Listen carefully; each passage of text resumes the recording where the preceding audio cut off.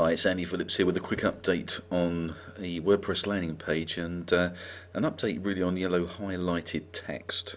And we used to use um, a piece of coding. Uh, it was a good way of doing it. It was a HTML piece of coding, which uh, is actually in the video above. Um, but what we're going to do now is we're going to show you a different way of doing it, which is via a plugin. So we're going to go to plugins.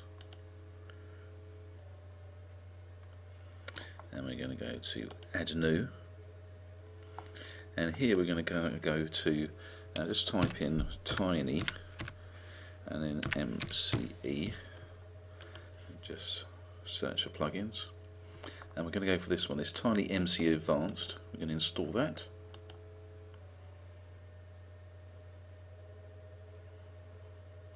And we're going to just click on activate plugin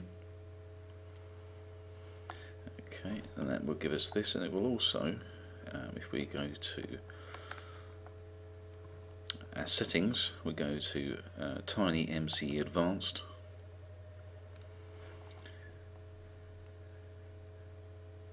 And it will show us this, and you'll see that we actually have um, a background colour. Well, I'm just going to stick Justify into there as well because I always put Justify in when I put the TinyMCE in and just go down to the bottom here.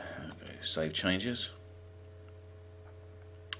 And now when we go to uh, page so let's go to a page.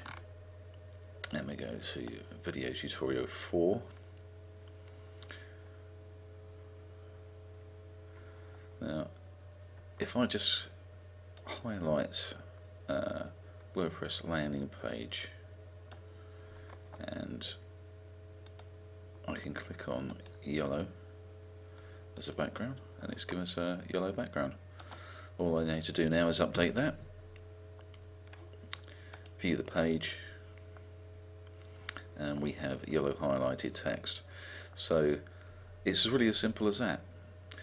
So instead of using the coding now we can just use the TinyMCE plugin. So until next time.